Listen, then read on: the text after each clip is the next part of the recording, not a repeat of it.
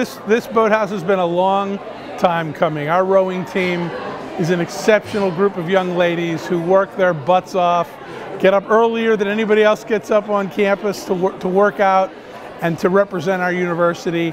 And we've been operating by borrowing other people's boathouses or not having a boathouse. And this has been in the works in various, uh, various permutations for years, and we are thrilled that we can finally give this squad the kind of facility that they deserve. This is a first class facility and, and they deserve it. And we think our rowing team will only continue to grow and prosper even more uh, now that we've got the facility. Well, we've known for a long time um, that we need a place, a permanent place, for our women to row from. Uh, and we've been many places on the river over the years. We started the program in 97, so we've been at rowing for almost 20 years. Um, we thought maybe we'd rent some space, and then it made sense to, to build a permanent facility on our own property.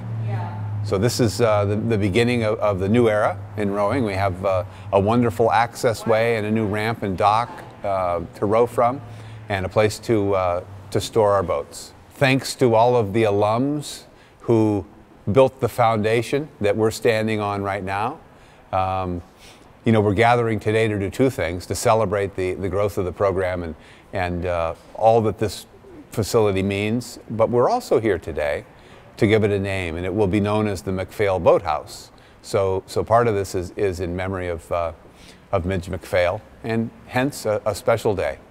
Midge's legacy was all about creating strong and confident young women. And she was so focused on bringing this boathouse to life as a way of legitimizing this program and bringing these girls the confidence that they deserve. And so it's only fitting that we're able to honor her through the naming of this boathouse. And I'm just so excited to see her legacy continue as those girls see her name every single day as they walk into the building.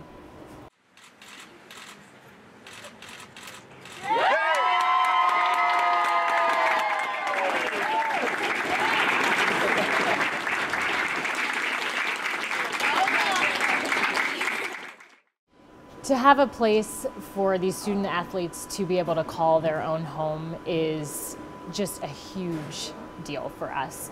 The fact that they have a cubby to put their things in and a place to get out of the rain and to be to meet to have team meetings it's such a big deal for them to be able to finally call this place home and to feel like a real legitimate team on this campus i think it's going to be a huge boost for, for recruiting um, these days, in any sport, when you bring prospective athletes in, they want to take a look at what your facilities look like. Uh, is there a locker room?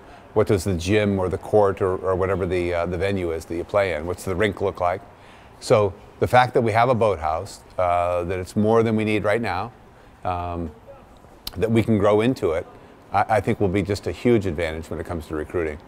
This definitely will help with the recruiting process and it gives us space to grow, which I also think is really important. We have planned to build this structure for the team that we plan to have in the future instead of the team that we have right now. So the plan is to grow and get more equipment and have more athletes and become a really competitive team.